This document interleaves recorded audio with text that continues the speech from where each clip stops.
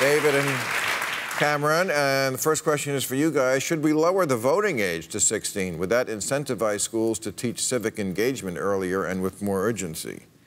I think schools could just teach civic engagement earlier and with more urgency. So you're not for. Yeah. We're taking our Gov class senior year, and that's when most people, I believe, take their Gov class. I think we should be doing that every year. Because that's what is we that have. what we used to call civics? yeah. Gov class. that's Well, what they call that's it. what my AP That's Gov class. interesting- That's what the kids positive. these days call it. And, did they, and they teach you like how government works, like, Yeah. like things like Trump doesn't know, like there are three branches. Mm-hmm. There are three branches. The House, the Senate, Supreme Court, that kind of stuff. Yeah. Well, no, it's I, I pre-registered to vote the other day, and um, I, I think that's what we need to be doing because it, it, right now a lot of the kids my age are voting the way their mommies and daddies are voting. And that's a little daunting to, to think about us. I mean, that still happens when people are adults, but you know, th- there could be a little bit more freedom as it, as it goes on. And again, that's the number one predictor of uh, what political party you'll be part of is your parents' past. And that's terrifying to think about considering uh, that our parents have failed us. Oh yeah. You really don't like us. Yeah. Yeah, they're in the people. audience. Dad, I'm looking at you. We are. Okay. Uh, let's not piss off the kids any more than we already have, all right? It's- Okay, just give let's- us some time. let's- Young, I know. Spiro, let- let's let Exactly. How do y'all really feel? Don't filter it. Don't Yeah. filter it. Come on. How do we feel about... You're about being very subtle. Tide Pods or gun reform? So, yeah. go Well, ahead. the way I feel about gun reform is we need to have, we don't have many limitations on the Second Amendment right now. I, I believe in owning a gun. My father has a gun. Cameron's dad has a gun, I believe. Um, both our parents were in law enforcement. I do see the reason to be, the reason to have a, a weapon, and I do see the reasoning behind the Second Amendment.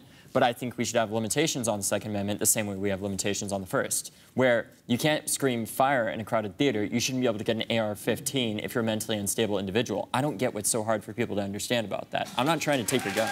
Remember, remember when, remember when, uh, remember when slavery was a thing and women weren't allowed to vote, and we did something about that? You know.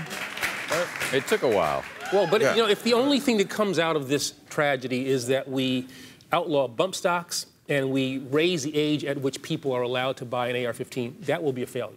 That'll Yeah. be a failure because the reality, from my perspective, is you need to do what we've always tried to do, which is to ban the sale of AR-15s, have universal background checks, um, and also take away the ability to buy these large magazines. See, but the problem with that is it makes way too much fucking sense for our elected officials to take care of. Yeah, Yeah, and There's also. a, there's a study that was out today from the RAND Corporation that shows that these kinds of measures actually have an impact on gun violence. Yeah. I mean, there's empirical evidence now that shows that. Uh, What's your opinion on like the the fact that the CDC can't research most of this stuff and like And as that's another thing that has to. This guy Dickey, the dick that's his in name. Yeah. Um, this congressman, this congressman put in the funding for the CDC, the, so they were unable to study the uh, the impact of gun violence and the causes of gun violence. That's another thing that has to be. Yeah. has Who to this guy? He, he's a. His name was Dickey. I, I know, but, what- but he's, he's a. That was- that was he's a my- legislator. that was my yeah, he was a nickname congressman. I think, I think, he was football Mark- team. I think he was a congressman from Arkansas. Oh, oh yes. He's like the Republicans' wiener. The other thing is, um,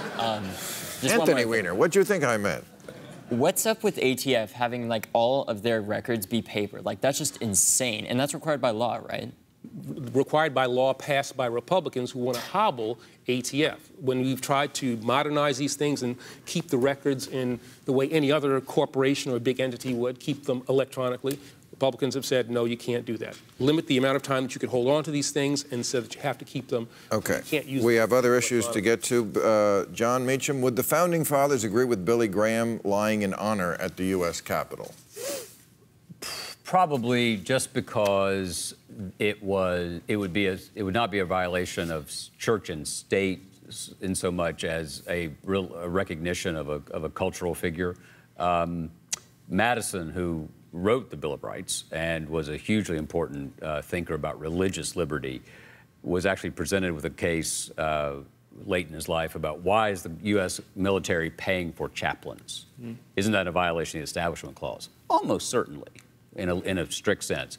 But he said some things are just not worth fighting. And um, I think that's where they probably stand. Uh, Eric, if you're in Jeff Sessions' current position, would you resign? Uh, I mean, it, it, it, when I read the, when you read these tweets where Trump is going on, and it, it looks like this is the kind of tweet you would write if you were in the opposition party. Why isn't the attorney general? Wait, he's your attorney general. It's so through the looking glass. Yeah. And uh, Jeff Sessions, did, I mean, you have nothing in common with him. He's a Confederate soldier. He said that. He's done it. Do you feel sorry for him? Do you feel something? No, I mean, he took this job knowing who Donald Trump was. Right. Um, and who he is. Right, and you know, at, at some point though, you would hope that you would have the intestinal fortitude or the pride to simply say, you know, I wanted this job all my life, but it's not worth it, and um, I'm not going to take that kind of abuse, and I'm simply going to tell you, you know, go screw yourself, and I'm out. But he's kind of doing a service for the country by not doing that. Because if, right, Jon, don't you agree? If he, if he left, then Trump could appoint someone who would fire Mueller. Here is a sign of where we are in March of 2018. Jeff Sessions has become a pillar of democratic order. Right. But you're right. It's true. But you're right. A man It's who true. could not be confirmed for the federal bench. Right. Right? Right.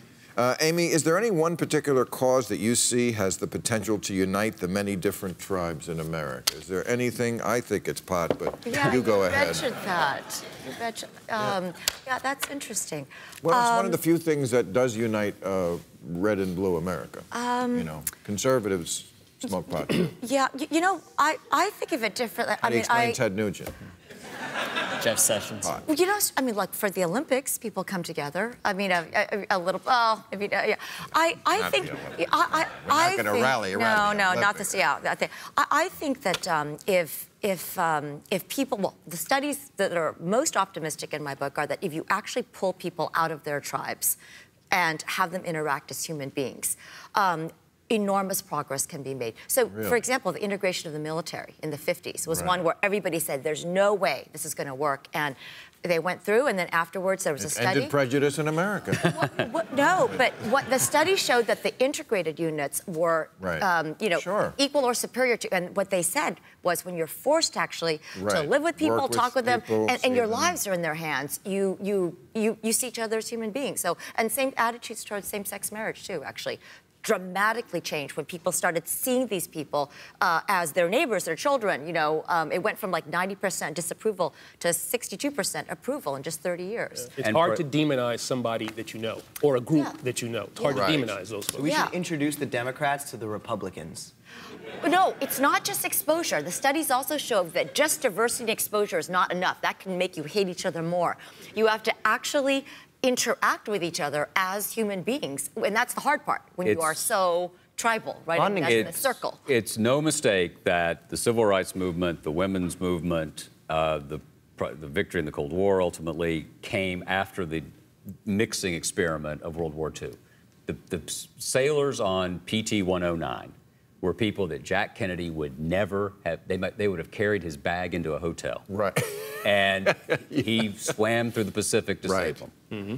And he remembered them as he as he came through. And and the prosperity was important. I just you know, we always the tribes come together, but it's always brief and then it, it begins to fall apart again. I wouldn't over romanticize the past. But I don't think it's assimilation I'm talking about. I mean, I think where I get my optimism is I, as I say in this book, I think that alone among the major powers, we're what I call a supergroup. That is, we. Uh, this is not saying that we've met all these ideals, but that we have this overarching national identity um, that's strong. You know, not like Libya or, or, but it's strong. And at the same time, we allow uh, individual subgroup identities to flourish. So they don't all have to melt away. I mean, we, and I think it's if you look through all the different powers, not not England, not France, they have one or the other. But it's strong because it's built around ideas that And we're all different, but we are all we all cut into the same idea, and that is what I think is going away. It is, but Is- what Eric's doing is so important too, because you can't just getting people to. How do you get people to buy into this national identity unity? It's not just by cheering the anthem very loudly, right? You have the system has to Hmm. seem legitimate, and the dream has to seem accessible to all. Otherwise, Well, people aren't going to buy into we it. We have got our work cut out for us. Thank do. you very much, everybody. You were a terrific audience, and of course, a terrific panel. Okay.